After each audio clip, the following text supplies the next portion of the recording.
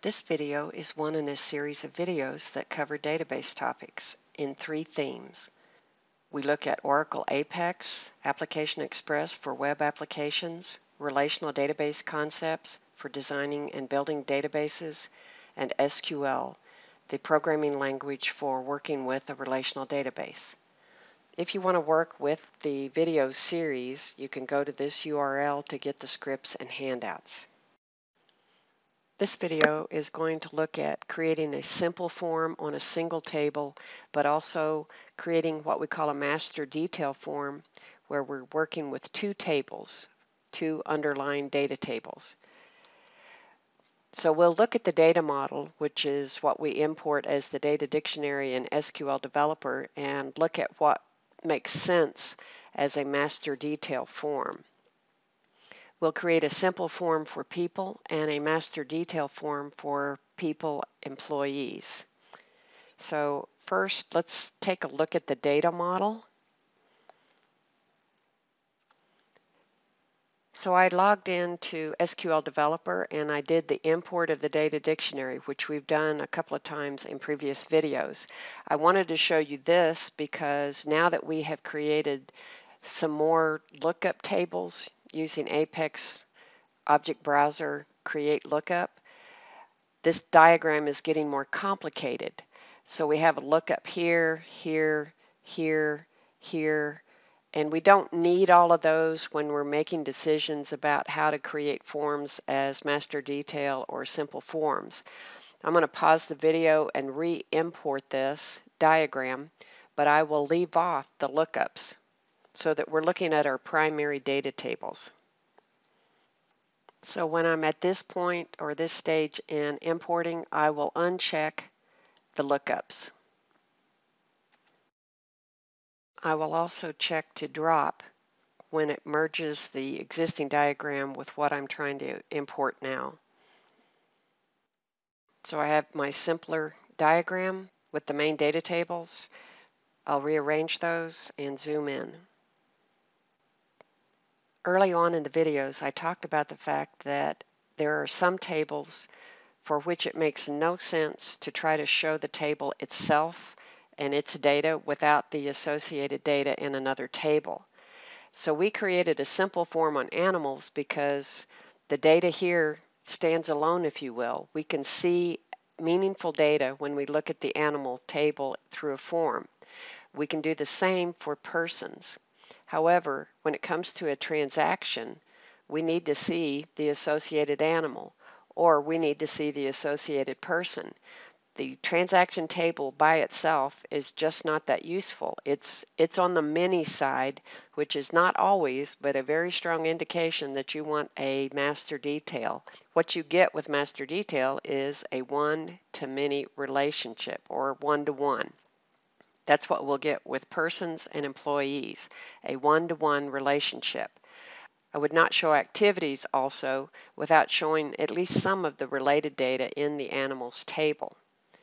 So I'm going to create a simple form on persons, and then I'm going to create a master detail on person as it's related to employee.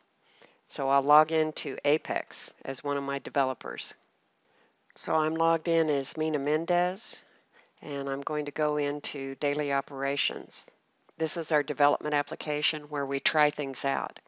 I'm going to create a page, and it will be a form and it will be a report with form on a table. I'm going to say if it's people related that we're going to start in the page number 50 to 51. So this will be, the table is called persons, but I'm going to say list people.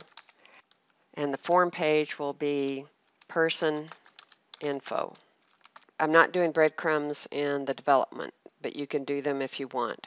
I'll go ahead and click next and I will create a navigation item. It'll be under people and it will be for the persons table. So I'm using persons, people interchangeably. I'll click next and we're doing the form.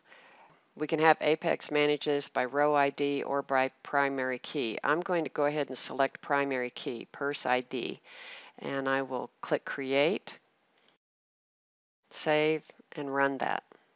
Here we have the report. Remember, we always enter the form through a report. And you know, when I first started working with Apex, I found this a little irritating, but it actually is a very useful way to approach the data.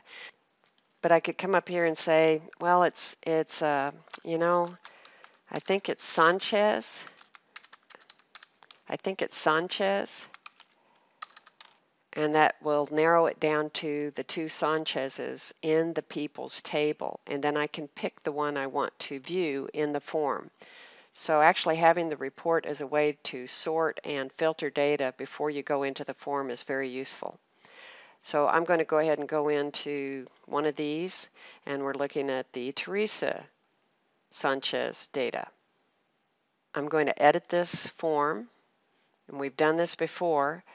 On the left hand side I pick the page item and I'm going to pick middle name and scroll down and start new row no. And then on last name I will say start new row no.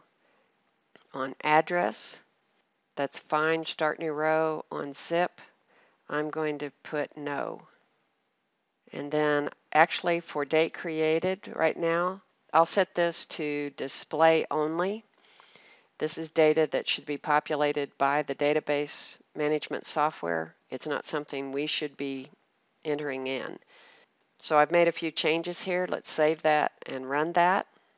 So when it comes to zip code, we want to get a list of the available zip codes. So I'll make another quick edit and that will be zip.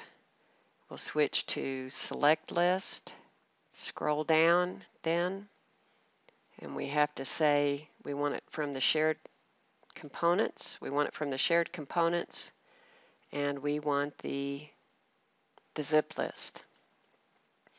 So I'll save that and run that. So it's showing the zip code, but when I'm selecting, I can see the city and the state. We'll tweak the display in a future video, but in this video, I also want to do master details, so I'm going to go ahead and do that. So back at Page Designer, I could do create a page. And on this one, I want a form. And this will be a single page. Let's see, do I want, I'll do a single page master detail and then I'll do another one. So this is going to be 53 as the page number. And the master would be person. I'll create a navigation item under people. And I think I'll change it to people here to be listed in the menu. So the master region would be person, and that would be based on the persons table. I will have that managed by the primary key and click next. The detail region will be employee info. That will be off of the employees table. Notice I'm only getting the related tables. Apex is filtering out anything that's not directly related to the person's table. That's a nice feature. And again, I'm going to manage that by pers ID. The primary, uh, actually, no, the primary key column is ID. The relationship here is pers ID to pers ID. Pers ID to pers ID.